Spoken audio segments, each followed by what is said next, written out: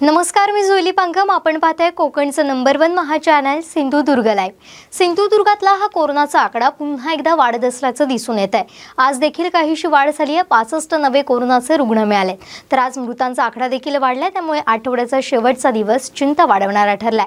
पाहुयात आजचा कोरोनाचा आलेख. ही संपूर्ण आकडेवारी तुम्ही आमच्या स्क्रीनवर पाहू शकता. सद्यस्थितीत सक्रिय कोरोनाचे एक हजार शंभर रुग्ण आहेत. आज नव्यानं पासष्ट कोरोनाचे रुग्ण मिळालेत. वीस जणांनी कोरोनावर मात केली आहे तर आज कोरोना कोरोनामुळे चौघांचा मृत्यू झालाय. आता तालुकानिहाय कोरोनाची आकडेवारी पाहूयात.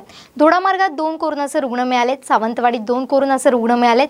कुडाळात सहा कोरोनाचे रुग्ण मिळालेत. वेंगुर्लेत एक कोरोनाचा रुग्ण मिळालाय. मालवणात अकरा कोरोनाचे रुग्ण मिळालेत. कणकवलीत आठ कोरोनाचे रुग्ण मिळालेत.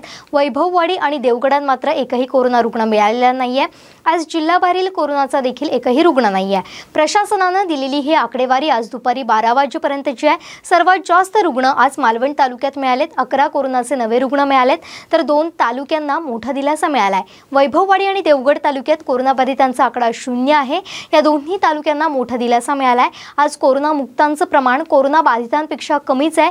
केवळ वीस जणांनी कोरोनावर मात केली आहे. तर दुसरीकडे मृतांचं प्रमाण वाढलंय. चार जणांचा कोरोनामुळे आज बळी गेलाय.